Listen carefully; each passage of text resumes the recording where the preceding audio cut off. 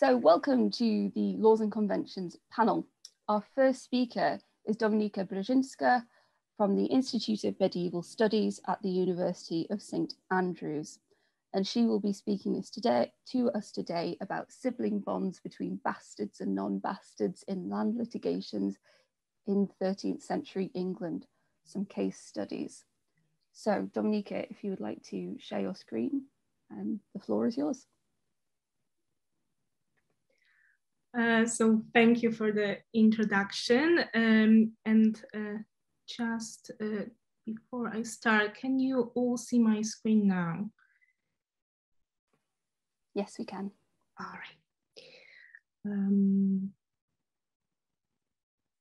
so um, my today's uh, paper is a part of my uh, PhD project, uh, which hopefully um, will be submitted in a few months. And um, I will present a short uh, study of four cases that um, took place before the royal court uh, in 13th century England. All are land litigation where the rights to the disputed territories were based on the aspects of legitimacy of the parties involved all were disputes between siblings. Due to the type of the source, which is recourse of legal cases over inheritance rights, the material presented will focus mainly on the tensions and conflicts that divided the families and negatively influenced mutual relations within. First, however, I would like to say a few words um, of, um, about the law concerning illegitimacy that was already in place in 13th century England. It is worth emphasizing that the secular law and canon law were not completely in agreement and um, that the discrepancies between those two existed and were significant. The inconsistency and antiquities were often used by the parties of the litigation to their own advantages and influenced the verdict. The questions of illegitimate status in high medieval England was a complex problem due to the legal dichotomy between common and canon law, regarding the definition of legitimacy as well as intermeshing competencies between those two parties. The main rule agreed by both was that an illegitimate person could not inherit after the parents. All disputes concerning the inheritance rights were proceeded by the secular court. However, decision whether someone was legitimate or not belonged to the competence of the church. By simplest definition, accepted by the church, a bastard was a person born to parents who were not married to each other. The main difference between the common law practice uh, in England and canon law was the status of children born before marriage of their parent.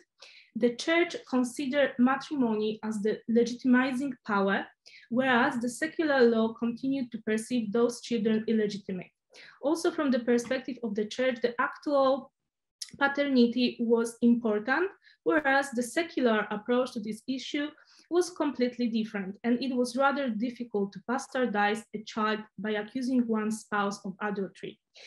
The first litigation that I want to discuss today um, was proceeded in Buckinghamshire at the end of the 13th century. And uh, this uh, case reveals a rather interesting conflict between the younger brother on one side and his mother and the older brother on the other. The assize was to decide if late John um, de Keynes died seized of the main, uh, manor of Milton Keynes, and if Nicholas, the plaintiff and his son, was his next heir. The manor in question was in that moment held uh, by Maud, who was John's wife. Maud requested to be represented before the court by Robert de Keynes, who also announced that he was elder brother of Nicholas, born of the same parents, and then he claimed entitlement to the same manor. In response, Nicholas denied Robert's rights, saying that he was not John, uh, John's son, but a son of Roger of Hanslope, and was born before any contract of marriage was made between Maud and John. Robert defended his rights and stated that he was a legitimate son of John and Maud and that he was brought up and raised with John in his house as his elder son. In answer to that, Nicholas repeated what he said before, adding that Robert was raised in Great Crawley and treated as Roger uh, Roger's son long before John had married Maud and that he was known by the whole locality as uh, Roger's son. After the sides presented the version of the story, the court decided to summon the local sheriff, who was then obliged to produce 12 men who were to investigate the truth and to give their verdict during the next assembly. The chosen jurors decided that Robert was not treated as Roger's son, nor was he brought up in Great Crawley, and that John treated him as his son for the whole of his lifetime after he married Maud. Nevertheless, they also added that Robert was born 10 years before the marriage between John and Maud, and um, that Maud was, had impeded John in the church court for several years before he finally agreed to marry her. In this case, the verdict of the jury, surprisingly, was in favor of the elder brother, Robert. As for Nicholas, he was also amazed. There are a few aspects of this case worth emphasizing. First of all, the younger brother refused to acknowledge the older one as a son of his father, which also meant that he called into question the credibility and virtue of their mother. He also mentioned that they were not raised together. Actually, based on what was discovered and acknowledged by the jurors, uh, his version of the past could have a semblance of truth. Robert was born 10 years before the solemn marriage took place and before John acknowledged him as his son. The assumption that as an infant, Robert was kept with a different family is not without a reason. The verdict of the jury is surprisingly uh, surprising though. One of the aims of the assize was to decide if the younger brother should be considered his father's closest heir. Although the jurors established that the older brother was not born in a lawful marital union, which rendered him illegitimate as per common, uh, common law, it was the younger brother who lost the dispute and had to pay a fine. Quite a similar case took place in Lincoln um, a few decades earlier. Uh, this um, litigation was over the patrimony between a pair of alleged brothers, Bartholomew and Osbert, sons of Richard. Osbert said that before the court that he was the firstborn son of his father and that Bartholomew was not his brother, as he was not a son of Richard. He added also that Bartholomew was born and nurtured in the home of Robert of Craig and was treated as his brother. In turn, Bartholomew argued that it was him who was the firstborn son of Richard and his legal wife, and that Os Osbert was his younger brother. He also added that he was born in the house of Richard, his father, and raised there for half a year until his grandmother told Richard that uh, Bartholomew was not a son of him, of his. Then he was sent to be nurtured to the mother of Fulco Baynard and never returned to his father. The court asked him how the grandmother had become suspicious of him, and he said he did not know. When asked what he did um, right after the death of Richard and whether he offered a homage to his feudal lord, the Count of Clare, Bartholomew answered that he was then in the service of, Rob, uh, of Roger Le Bigot.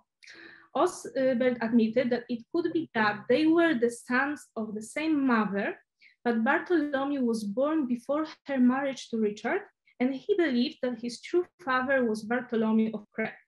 He also added that his father had never acknowledged Bartholomew as his son.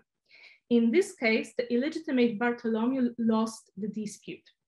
The third case uh, is an example of legal dispute where the accusation of illegitimacy was based on adulterous deeds of the wife. It was proceeded in Essex at the first half of the 13th century.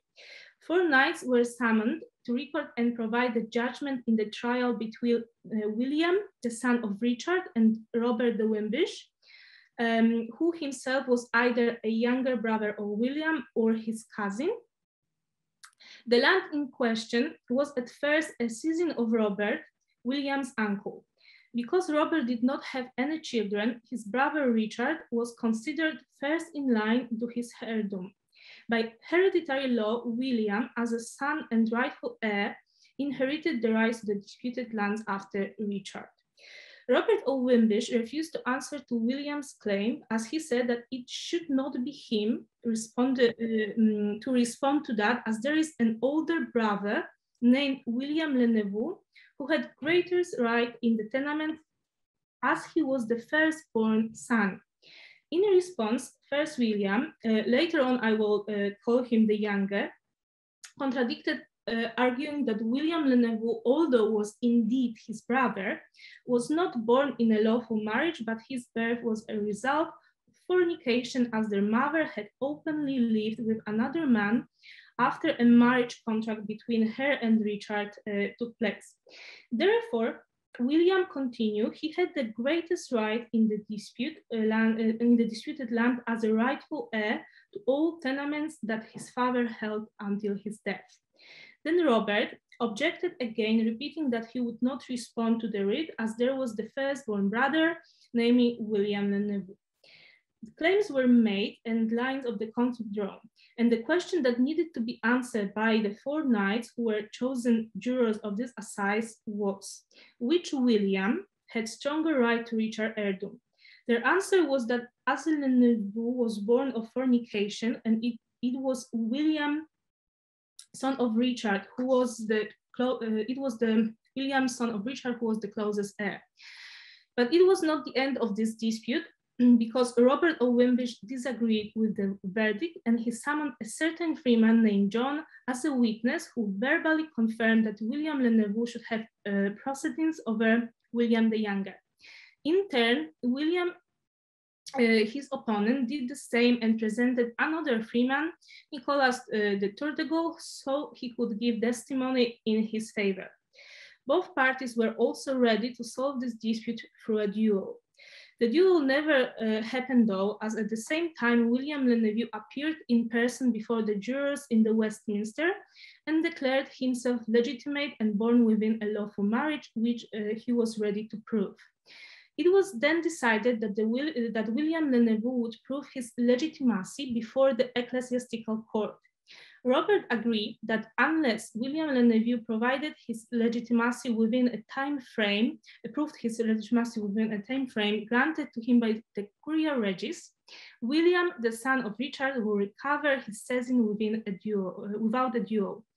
Inquiry was sent to the Bishop of London, who in his statement declared William de Le Neveu not legitimate. In result, William the Younger recovered uh, the tenements and Robert lost the dispute. In short summary, this case is between brothers, both born within a marriage, but one as a result of adultery. As the question of legitimacy was sent to the court Christian, which had a different approach than English common law to the problem of um, adulterous children, William Le Neveu was declared illegitimate and lost the case. Should this case be proceeded within the jurisdiction of secular court only, the verdict probably could have been different. The last um, case that I wanted to mention today took place in Wiltshire in the middle of the 13th century. The land uh, litigation was between two brothers, Ralph and Robert Cole, before the county court. Ralph, the plaintiff, demanded to be given a half virgate of land, of land in Duntington as his hereditary right after his late father, Robert. His opponent, and at the same time his elder brother, also named Robert, denied rights to that land for both Ralph and his father. The court decided to proceed the case as a grand assize and elected 12 knights to make a recognition. Ralph protested against the grand assize by claiming that Robert and he were brothers born of one father, but con contrary to his elder brother, he was born in the lawful wedlock and as such should inherit the, the land.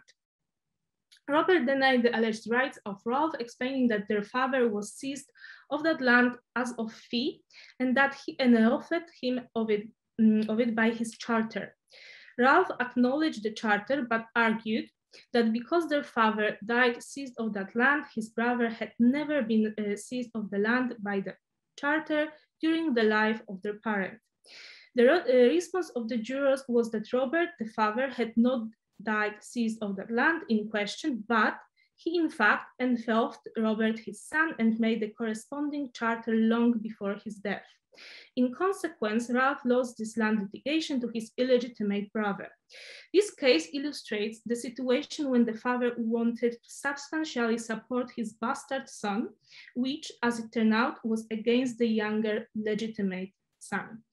Um, in short summary, the legal dispute revealed that the argument of illegitimate status was often a calculated move aimed at providing material benefits, even if it's made at the expense of closest family members, a sibling or a parent, and even if it meant the reputational damage and my losing the family bond.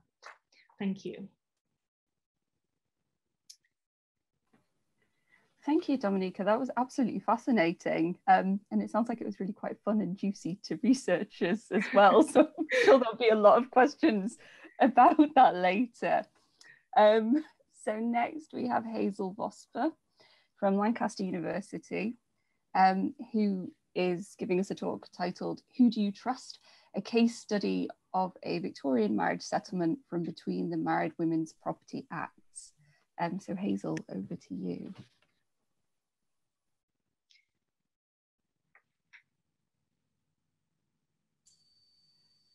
Sorry, can you see my screen okay? Yes, we can, thanks. Okay, let me just. Okay, uh, good afternoon, everybody. During most of the 19th century in England, a woman lost legal personality upon entering into marriage. In the eyes of the law, a single or widowed woman, known as a femme sole, was recognised as having legal personality. A femme sole could own and manage all types of property, which covers all types of financial assets, and could enter into contracts in her own right. A married woman, known as a femme covert, could not do these things because in the eyes of the law, she was covered by the legal personality of her husband. This was due to the common law doctrine of coverture. Sorry, I've just realized my uh, video's off, in case you want to see me reading. Uh, marriage settlements were a legal contract established between the two parties prior to a wedding. One of their benefits was that they provided a means for the woman about to be married to maintain a financial interest in certain aspects, regardless uh, assets, sorry, regardless of coverture. Whether a marriage settlement actually protected a married woman from a rapacious husband was challenged at the time by judges and reform campaigners such as John Stuart Mill, and it has remained a topic of debate for scholars subsequently. What is less contested is that marriage settlements were fairly common for middle and upper class women in the 19th century, evidenced by the fact that many examples can be found in the archives. Coverture was recognised by common law, but marriage settlements were a private contract ent- uh, reg- recognized under equity law and adjudicated in the Court of Chancery. Prior to a wedding, the bride to be, at that point still a femme sole, could enter into a marriage settlement contract, out of which a legal structure called a trust was established. I'm going to give you a very brief description of how trusts work. Um, this is um, very, very simplified. They're quite complex or can be. So there's three parties to a trust. The first one is the settlor, and these are the people who set up the whole um, trust. Um, and they transfer legal title, they give up ownership of assets and put them into the protection, the boundaries of the trust and they document their instructions in a settlement deed. So this might be a father of a bride. The trustees are appointed to oversee the trust. They have legal control over the assets and they have a fiduciary responsibility to the beneficiary. This means they have to do their best, always act in the best interest of the beneficiaries. Their responsibilities are set out in the settlement deed. Then we have the beneficiaries. They receive the benefit from the assets, but they're not the asset owners. And often, as I'll talk about, the beneficiaries uh, went across multiple generations. One settlement from 1875 anchors this paper. This case is not exceptional per se. It did not end up before the Court of Chancery, and there were no known trustee issues. Rather, it is presented as a case study from a period of significant change for married women. In 1870, a Married Women's Property Act was enacted. Uh, and here we've got the basic um, uh, parts of this act. It was actually quite minimalist in what it did. Um, it would gave rights such as if a woman um, earned wages in her own right, separate from her husband, she could keep them. It gave her ownership over certain amounts of personal property when she married. Um, but it was a bit confusing because there was quite a few distinctions made between what applied to women married before or after 1870. Although the parliamentary debates and commentary in the press leading up to this act had been wide ranging and quite ambitious, its final scope was relatively narrow after the House of Lords substantially watered down the original provisions. Following the 1870 Act, the press continued to highlight inequities and reformers continued to lobby for more extensive property rights. As a consequence, a more substantive act followed in 1882. And here, what we see is married women could basically act as if they were still femme soles instead of femme coverts. They could own all types of property, they could hold the income um, from lots of sources, and they could enter into contracts in their own right. So it was a much more substantive uh, change. The case presented in this paper falls between the dates of these two acts. Anne Elizabeth Stead was born in Carlisle. In May 1875, at the age of 21, Anne married James Davidson, aged 36 and a head partner in a local bank in the local parish church at Stanwix. So Stanwix is just to the north of Carlisle in the north of England. In anticipation of their forthcoming wedding, Anne and James entered into a marriage settlement. And here we can see the settlement deed between them and this uh, signatures, Stead and Davidson. It's about A, A4 in height, but it folds out. Both families contributed money into the settlement, £1,900 from her side, £600 from his. The investees were required to invest this money only into assets authorised under the settlement deed.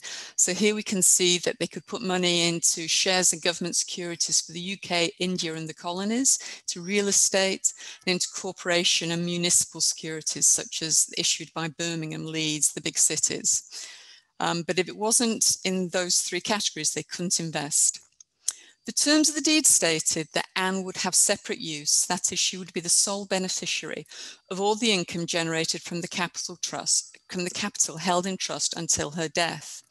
The likelihood of Anne or James dying early within their marriage was high. In the mid 19th century, there was a one in five chance that a marriage would end with the death of one spouse within 10 years of their marriage.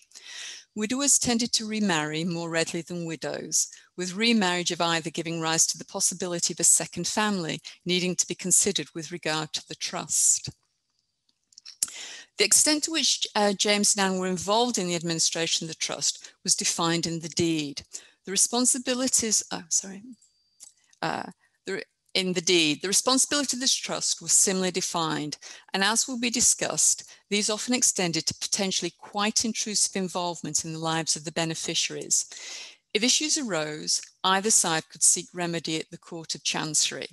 So the deed gives the instructions of how the trust is to be run on behalf of the beneficiaries, initially the Davidsons, overseen by the trustees. And if they had a falling out, everybody went off to the Court of Chancery.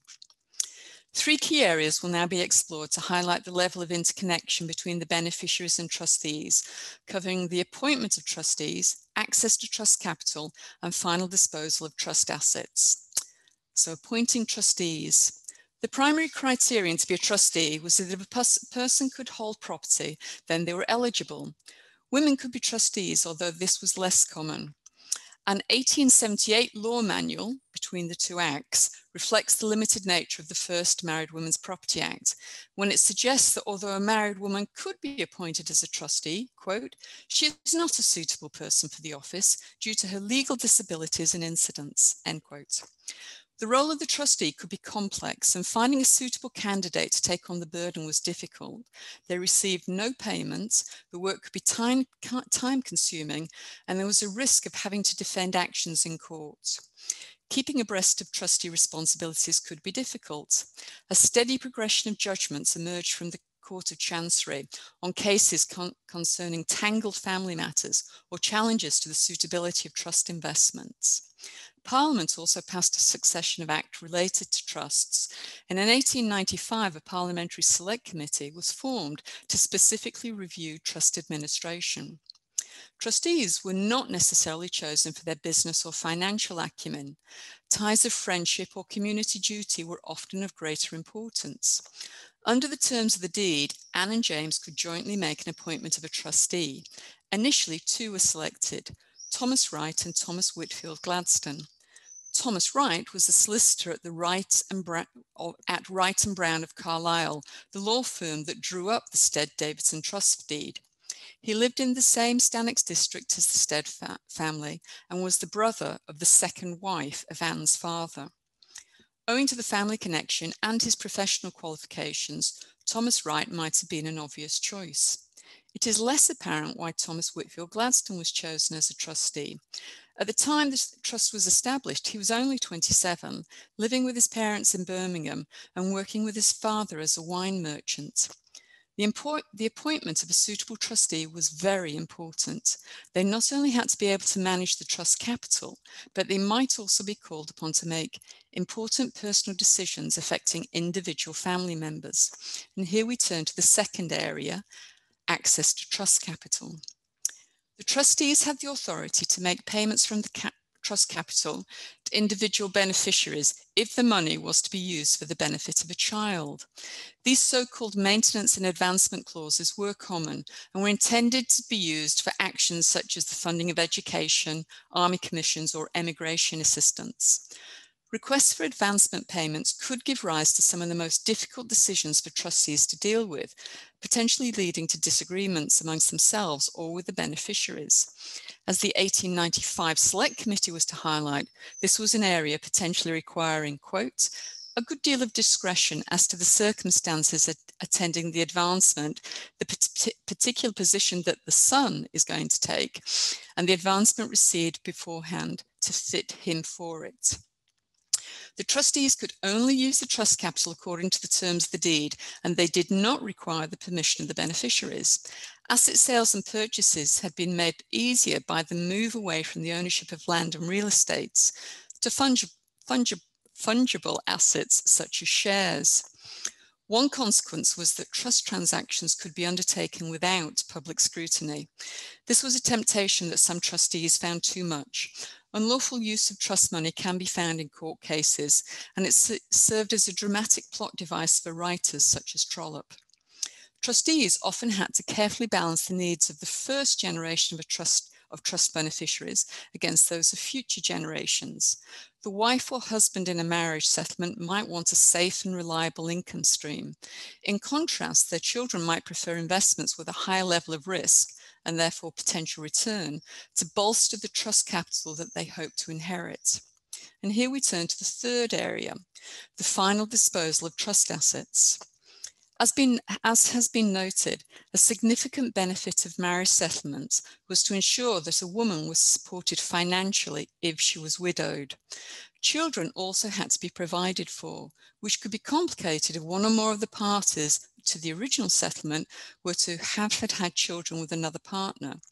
The terms of the Stead Davidson trust deed attempted to anticipate all the different potential scenarios that might arise. While Anne was alive, she received all the income, but it is important to note that the limitations of the First Married Women's Property Act meant that James could still legally appropriate most of Anne's income once she'd received it, if he so wished. If Anne predeceased James, the trust income would go to James for the rest of his life, Although the trust capital was to be invested in the same way, the deed stressed that the two initial pots of money had to be kept separate. The reason for this becomes apparent once both had died and the existence of any children had to be considered. At the point, point that both have died, but they had children, the remaining children that originated from the Stead family was to be ring fenced as the Stead Fund, and the money from the Davidson Fund was to be ring fenced as the Davidson Fund. The stead fund was to be used for any child of Anne, either from her marriage to James or with any other person. If any child had not reached the age of 21, the trustees were to use the stead fund for that child's maintenance, education, and advancement. And once again, it is the trustees that have the responsibility for providing for children's advancement rather than a close family member. Once a child of Anne reached their majority, they would become eligible to a share of the stead fund, which was to be distributed equally between Anne's living children. The terms for the Davidson Fund were the same in relation to James's children. Where there is a difference is in the situation where Anne and James had no children. And this difference directly relates to their marriage settlement having been established prior to the Second Married Women's Women's Property Act. And as a consequence, the order of death would be critical. If James had died first, then Anne would have been left a widow. James' estate was to be disposed of as per the instructions in his will, and as a widow, and therefore with her legal personality restored as a femme sole under common law, Anne would have likewise given instructions for the disposal of what remained of her property through her will. If Anne predeceased her husband, most of her property that he had legally taken control of when they married would still be considered part of James's estate, which again he would dispose of through his estate. This reflects the limitation of the 1870 Married Women's Property Act, whereby Anne, as a femme covert, could still only own and therefore dispose of limited types of property. Um, so um, in this case, um, uh, um, James would have had Anne's property and she would just be left without it. But we need to remember that the assets in the stead fund were a matter of equity. So the deed terms stated directly that if Anne predeceased her husband, the stead fund was to be signed as per her will, but with the important stipulation of notwithstanding coverture common law was still the forefront when deciding what constituted the types of property that Anne could directly own and therefore what she could dispose of. But the stipulation, notwithstanding coverture, served to emphasize, for the avoidance of any doubt, equity's primacy over common law with regard to the specific disposal of the stead fund assets held for Anne within the protection of this trust. In the event the stipulation was not required, as Anne outlived James, he died from consumption only six years after the marriage, uh, leaving their three children in Anne's and the trustee's care. Anne was to live until the age of 90. She never remarried. So finally, in conclusion, the title of this paper is Who Do You Trust? An obvious play on the use of the word trust either as a noun, as in a legal trust, or as a verb, as in to trust someone. The decision to enter into a marriage settlement during the period between the two Married Women's Property Acts would have needed to consider this very question. Was there an expectation that the legal momentum from 1870 would continue and that Parliament could be trusted to match its rhetoric with a more radical law than the House of, that the House of Lords would actually pass? If not, the need for a marriage settlement would continue, accompanied by the need to establish a network of potentially long-term relationships based on interpersonal trust, albeit underpinned by equity law. A high level of trust would be placed in the trustees to both effectively uh, manage uh, capital for the benefit of multiple generations and potentially to make decisions that would directly influence the life chances of Anne and James's children. Each trustee had to trust that the settlor had established a comprehensive deed, anticipating the possible future scenarios that might occur within the beneficiaries' lives. The trustees would be exposed to reputational damage, monetary loss, and possibly worse if they lost the tr trust of the beneficiaries, who might seek remedy in the court of chancery for actual or perceived mismanagement. Beneficiaries had to trust each other not to seek undue influence with the trustees or through the courts in order to gain an advantage over another's prospects. And all this at a time when just seven years later, the Second Married Women's Property Act would obviate the need for much of what the Stead Davidson marriage settlement was established to protect against.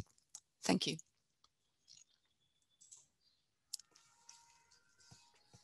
Thank you, Hazel. That was an absolutely beautiful case study of the complexities um, of marriage settlements. That was that was absolutely stunning. Um, again, questions at the end. So we'll move on uh, for now to Hannah Telling um, from the Institute of Historical Research, who will be talking to us today about living as man and wife, cohabiting couples and fatal violence in Scotland between 1850 and 1914. So Hannah, if you'd like to begin.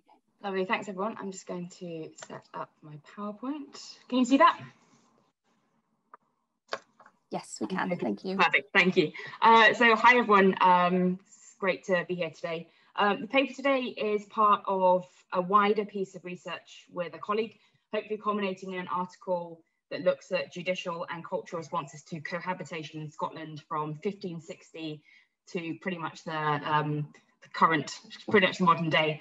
But today I'm going to be focusing specifically on cohabiting unmarried couples in the context of fatal violence prosecutions in Scotland between 1850 and 1914. So to start, um, in October 1869, Thomas Deas, an Irish labourer, pleaded guilty to the culpable homicide of Helen Hall, a woman whom he had lived with for a number of years in Glasgow. In an effort to mitigate his inevitable prison sentence at trial, Thomas argued that he had been provoked into his violent actions by Helen's behaviour. Thomas alleged that on arriving, that on, um, sorry, on the afternoon of the fatal assault, he had given Helen his wages to purchase provisions. Yet upon arriving home that evening, he found no dinner prepared for him and that Helen had used his money to get drunk with her sister and a female friend. This, argued Thomas, provoked the fatal violence that followed. Mr. Lorimer, Thomas's defense lawyer, argued in court that, and I quote, the attack had been made under circumstances of considerable irritation and anger without premeditation, and as the medical evidence would have shown, its duration must have been a matter of seconds, not minutes. Mr. Lorimer was here making the case to the presiding judge that this was an incident that could be dealt with with relative leniency. A homicide provoked by the unreasonable conduct of the now deceased, yes. A cold-blooded murder, no. The judge, Lord Neaves, seemingly agreed, Thomas's plea was accepted and he received a sentence of just 18 months imprisonment.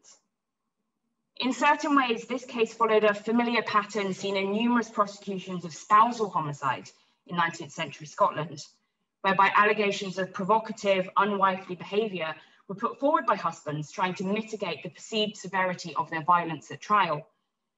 Yet, what is particularly interesting about this case is that despite living together as man and wife, cohabiting and reputed as spouses within the community, Thomas and Helen had never formally married. This fact and the cultural opprobrium attached to their marital status by their higher class contemporaries did not go unmentioned at trial.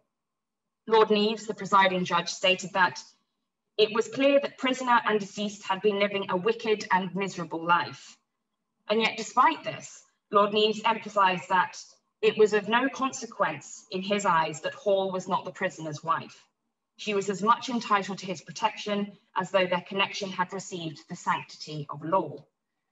So this paper today explores judicial and cultural responses to fatal violence between unmarried cohabiting couples in Scotland between 1850 and 1914. And I aim to show two things. First, that these forms of sexual relationships were seemingly not that uncommon and that legal records of murder prosecutions offer a near unique glimpse into the diversity of sexual relationships in primarily urban working class communities. Second, that in cases of fatal violence between cohabiting couples, the cultural performance of marriage was of paramount importance.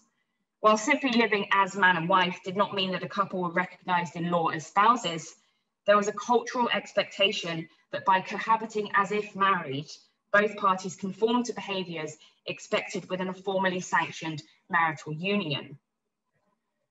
So at this stage, it's necessary to briefly outline the systems and processes of marriage in Scotland.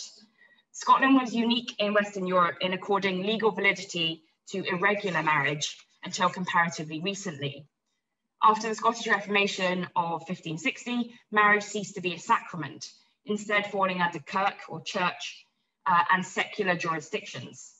As consent alone, whether express or tacit, was the main concern of Scots law in terms of establishing a valid marriage, both regular and irregular forms of marriage were permitted in Scotland. A regular marriage, what could be termed marriage by celebration, involved a public proclamation of a promise to marry, termed the reading of the banns, followed by a ceremony presided over by a Kirk minister. Irregular marriages were treated with more suspicion, but were still considered valid in certain circumstances. And there were three main forms of irregular marriage marriage by declaration, marriage by promise, and marriage by cohabitation with habit and repute. This final category established that a valid marriage could be inferred by the continued cohabitation of the parties as man and wife, and I quote, with the repute among all who know them that such is their relation. Yet both regular and irregular forms of marriage required that both parties be free to marry in the first place.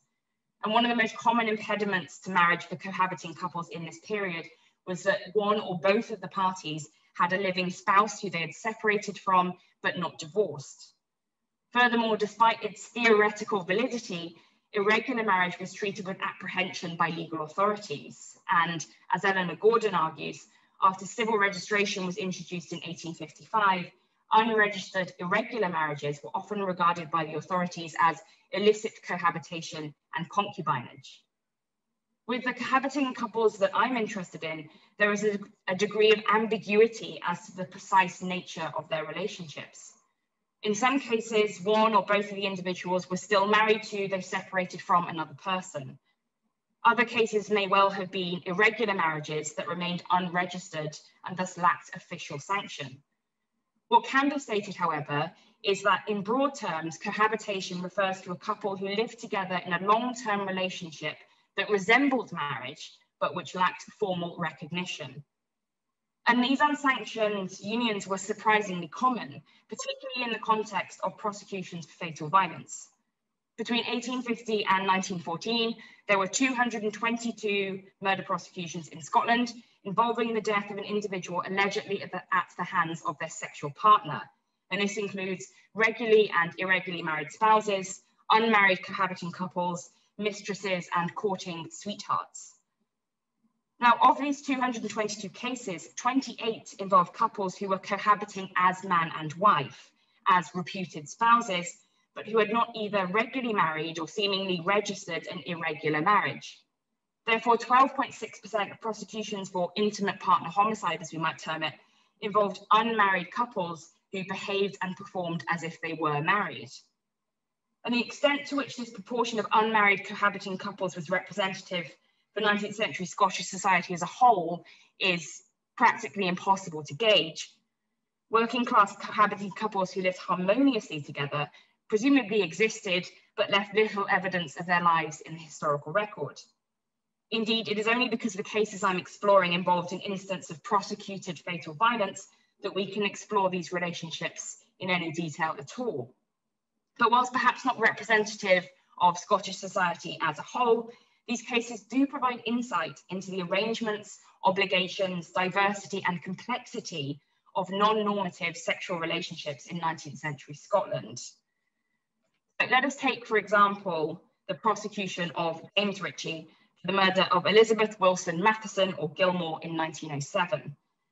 The pre-trial documents in this case revealed that Elizabeth, then aged 12, lived with a lad named, named Henry McCaffrey for a period of five years.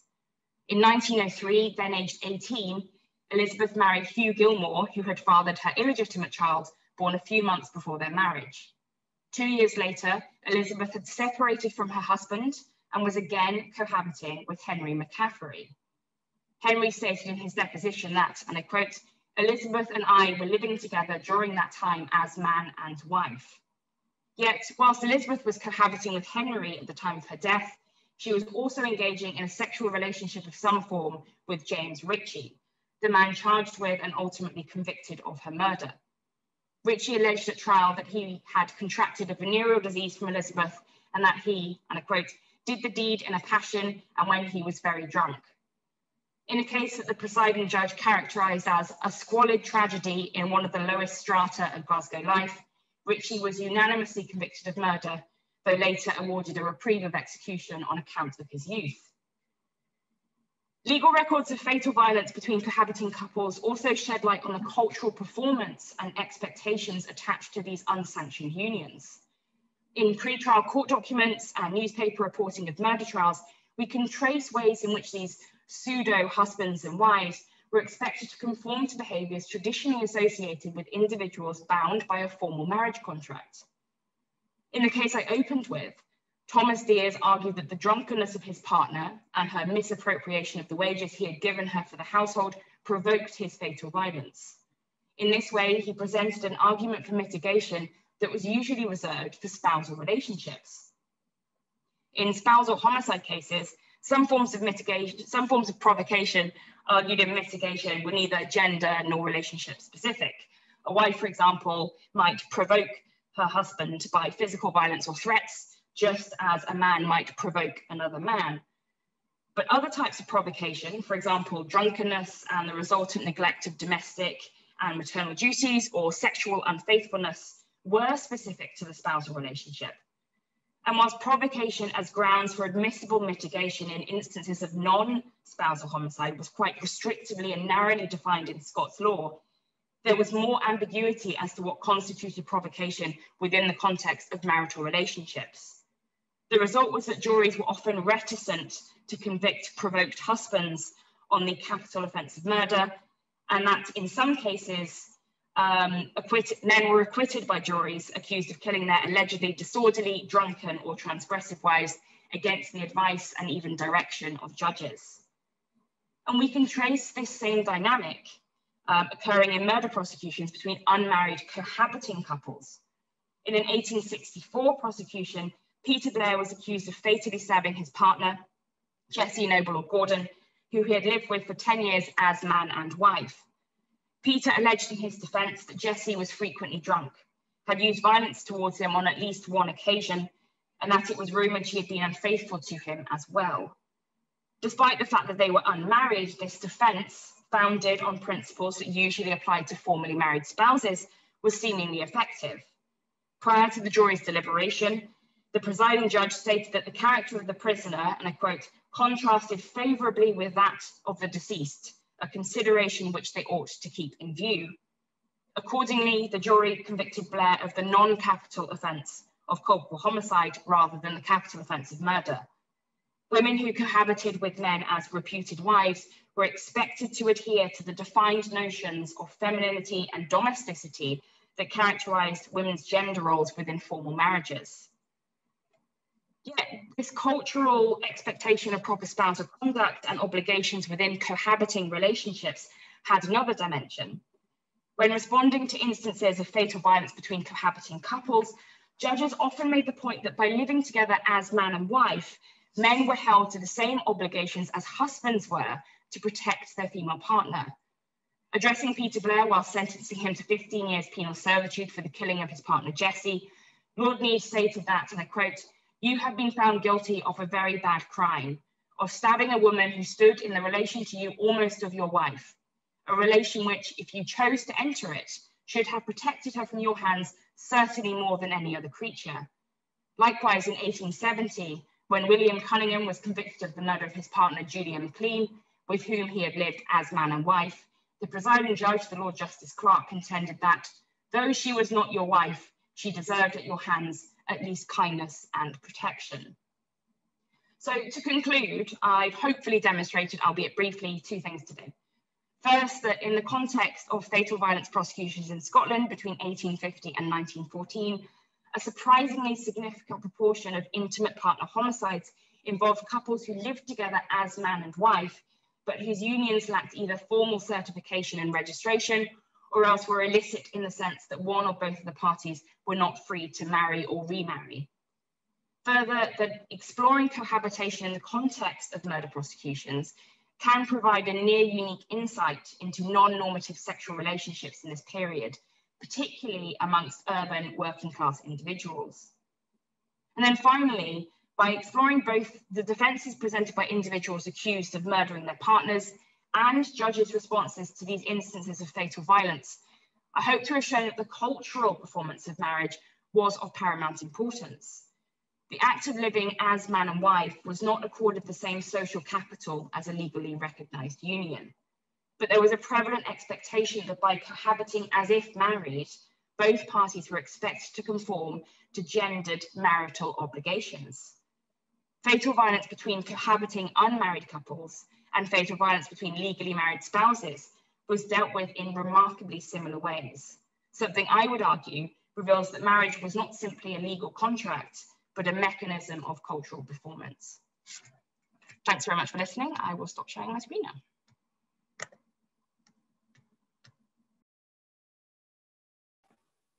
Thank you very much, Hannah. That was that was wonderful, if harrowing. Um, that was again, that was absolutely fascinating. Thank you. Um, finally, before we get to the questions, our last speaker um, of this panel is Taylor Aucoin from the University of Exeter. And today he will be giving a talk uh, titled To Play the Football and Banquet, Ball Money, Hen Silver and Communal Marriage Dues in Pre-Modern Britain. So Taylor, the floor is yours. Thanks for having me. Um, can you see my screen? Yes, we can. Great.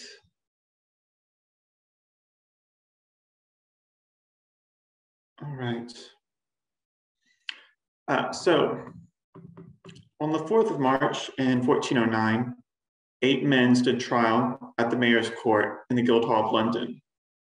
They were ordered to never again collect money for football or something called cock silver for poultry, nor to thresh or cudgel um, such cocks, hens, capons, or any other birds in the streets of the city. Now, both football and the cruel threshing of poultry were popular sports on Shrove Tuesday, which is a holiday that had taken place about two weeks prior to the trial. Now, about a month after this trial, right before Easter, the London mayor issued the following proclamation, which stated that, quote, no person, person shall levy money or cause it to be levied for the games called football and cock threshing because of marriages that have recently taken place in the said city. Now, although a direct causal link cannot be confirmed between the court case and this proclamation, it seems likely that the first prompted the second, and that together they reflect a particular set of interrelated medieval cultural practices. Now, more precisely, these cultural practices involved the communal collection of a ball or football, food and drink, or some monetary equivalent to these from recently married couples, either during the wedding festivities themselves or at a customary occasion like Shrovetide or Easter. Known by various names like ball money, siller, ball, the bride ball, and the football due on the one hand, and hen silver, hen drinking silver, and the perry on the other. These customs were found across a considerable geographic and temporal range, spanning the British Isles, parts of northern France, and northern Germany, from as early as the 13th century down to the present day. These communal marriage dues took many forms and evolved over time. They could be loose and informal or highly ceremonial and institutionalized, at the level of the manor, parish, guild, or civic corporation. Dues could be given happily or begrudgingly, but the consequence of refusing them could be dire. That's this last point, this exacting and sometimes menacing nature, plus the pairing of communal entertainment with communal regulation of the marital household, which connects ball money and the like to a larger family of pre-modern European customs called rough music or charivari. This is a well-known and often studied set of customs by social historians of popular culture. Um, and it has been usefully categorized by medievalist and folklorist Tom Pettitt, who's actually, I think, in our audience today. It's good to have you here. He's categorized them into two broad categories um, one, rituals performed in response to specific domestic or sexual transgressions in established households. And two, rituals performed at and because of weddings. In other words, at the formation of new households. Now, the most famous kind of this second nuptial type of charivari um, castigated or shamed mismatched couples like um, widows and um, young and old couples who were getting married. But customs like ball money fit into this second nuptial type as well. for in many places, all newlyweds, and not just those transgressing norms, were subject to communal hazing rituals, which had to be paid off with money, food, or entertainment. These kinds of all wedding charivaris or exactions were rarely overtly malicious, which is perhaps why they have received slightly less historiographical attention than their more sensational counterparts. So in this presentation, I'll try to make a start at giving these exaction customs their due, focusing in particular on British ball money. I'll first briefly survey the known evidence of ball money and other closely related practices, starting with the 19th and 20th centuries when the examples are uh, most varied and plentiful, and working backwards in time to assemble a more complete picture. Um, I'll then draw some initial conclusions about ball money and what it could tell us about marriage, play, and commonwealth in pre-modern British societies. So 18th and 19th century antiquarians and folklorists were the first to diligently collect and record references to ball money as a distinct and informal folk practice. In 1777, clergyman John Brand wrote of the custom in his extensive and influential observations on popular antiquities referring to his native Newcastle upon Tyne, quote, at present, a party always attend here at the church gates after a wedding to demand of the bridegroom money for a football. This claim admits of no refusal. The second edition of Brand's work, published in 1813 after his death, added that the custom was also found among the coal mining communities of northern England and that it directly paralleled customs practiced in Normandy various English sources from later in the century place ball money traditions specifically in Northumberland, Durham, Yorkshire, Cheshire, Staffordshire, and the Lake District.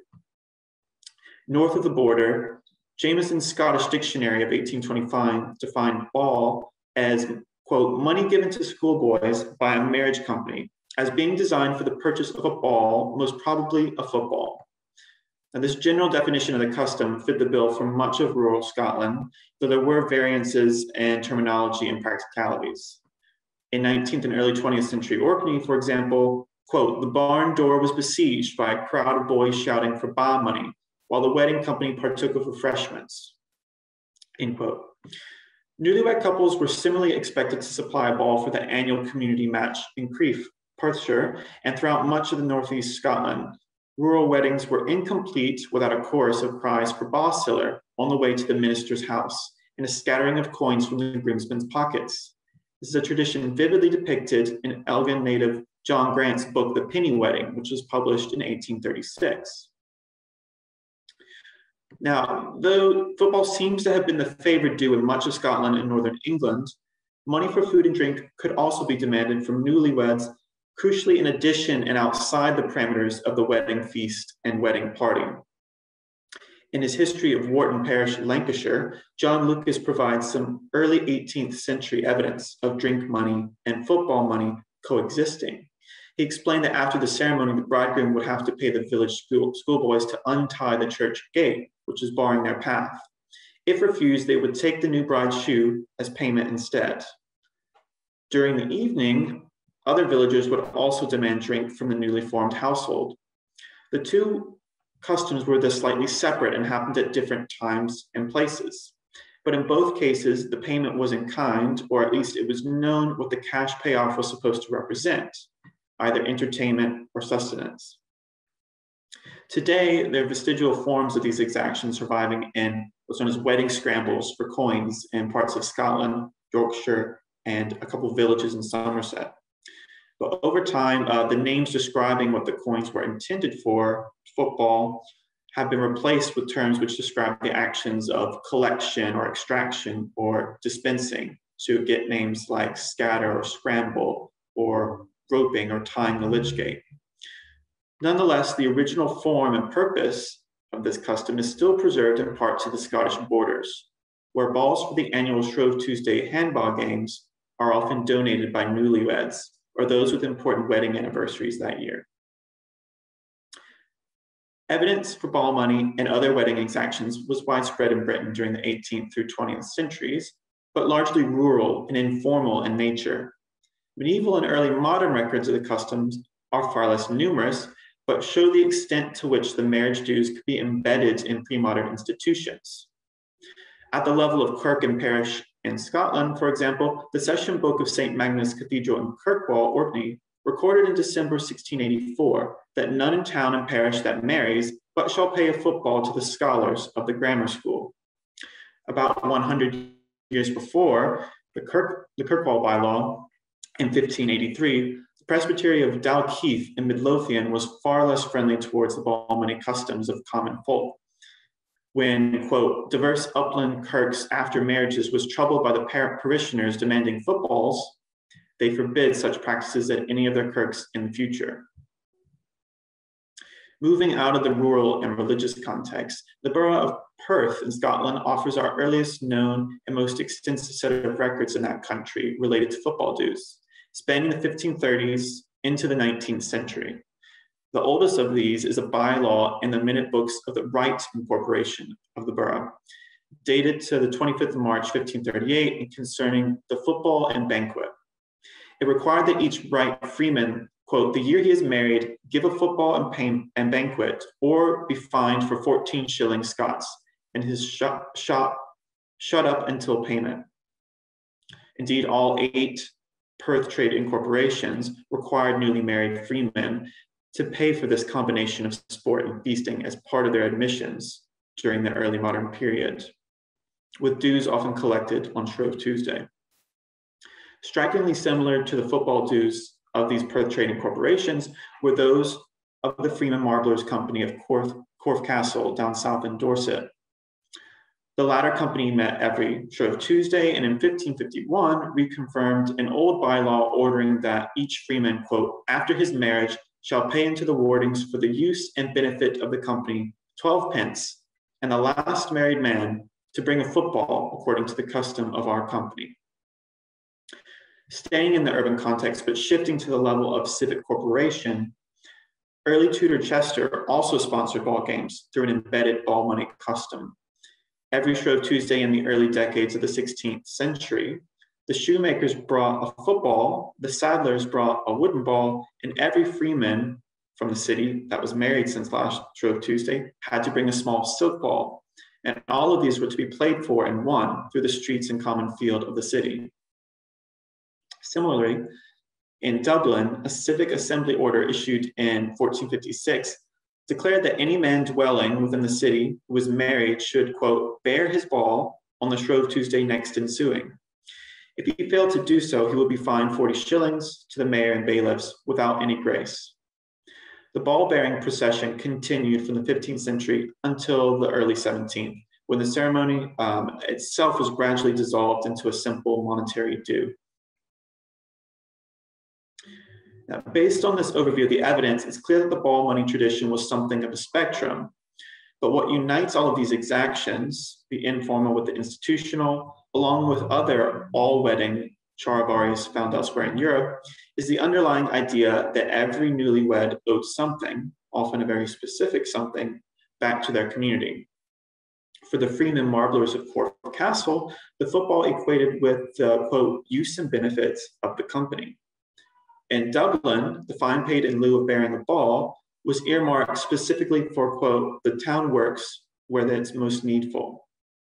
In Chester, the married men's homages facilitated the, quote, public recreation of the whole city, while fines levied in dereliction of this duty went towards, quote, the use of the said city. The underlying rationale here was that play and festivity, and football in particular, were equivalent to the public good the Commonwealth, and that it was the responsibility of a newlywed to contribute to that Commonwealth.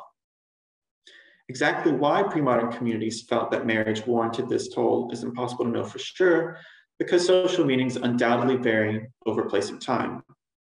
Yet according to the scholar O.W. Farrer, writing in 1856, a recently married freeman Marbler from Corfe Castle paid his marriage shilling of football, quote, in acknowledgement of the right in case of his death, of his widow to have an apprentice to work for her. Likewise, in 1830, an article from the Perthshire Advertiser queried, quote, if the widow be poor, has she not a right to the funds? Or why does her husband pay what is called a football? Is not this regarded as his wife's entry money? Now, these could be read as post Enlightenment rationalizations of otherwise obscure folk customs. However, a bylaw from the Perth Baker Incorporation that can be dated to 1600 interprets the custom in the same way, stating that a freeman's ball was owed, quote, for the freedom of his wife to labor and occupy the said craft after his decease, end quote.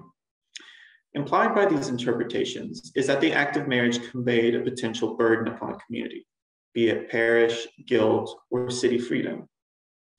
If the married man were to die, the community might be responsible for his widow and any orphans. In return for this potential risk, a one-time payment will be needed.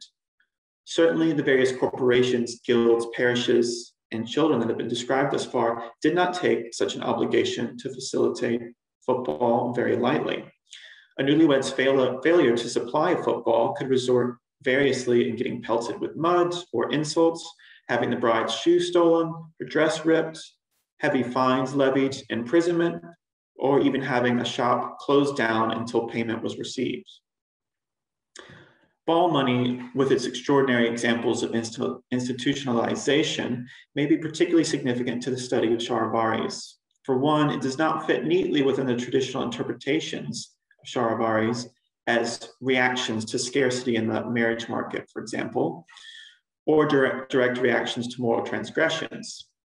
And it is certainly significant to the study of pre-modern sport and play, which is often compared unfavorably to post-industrial sport in terms of social value. From the communal pension scheme that was ball money, play was equated with life itself. And out of the many types of play pre-modern people had to choose from, football rose to the top. So perhaps all the enthusiasm and passion we're witnessing around Euro 2020 right now has very deep roots indeed. Thank you. Thank you very much, Taylor. I really enjoyed that link uh, to Euro 2021, I guess, isn't it, at the end? Yeah. Um, nicely done. Thanks. So we are now basically at five o'clock. So I would like to thank you all um, for presenting uh, and also for, for, people asking the questions. That was absolutely fascinating stuff. Um, I'd also like to thank uh, Jenny Hyde, who, who is in the background here and who has been organising all of this um, and, and making all of sure that the technical stuff works. Um, but thank you all. That was absolutely fascinating. Um, that was a really, really exciting two hours, I think, of kind of really quite interesting research about how, again, legal records can uncover all of this wonderful hidden stuff. So I think that, that we will end here, but if everybody wants to do a round of applause, because there are only a few of us, that would be really lovely, I think. So thank you all.